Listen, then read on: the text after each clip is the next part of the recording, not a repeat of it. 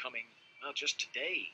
And certainly two of the biggest moments of his season coming just today as he went four very strong shutout innings against the team out of Tampa, Florida, in the losers bracket deciding game to help his team move on via the run rule. 9 nothing the final in that one. And, of course, arguably the biggest highlight, his defensive play out in right. Go, this one shot go. into center field. Collins Drop. going back, playing with the wind, and he makes the catch.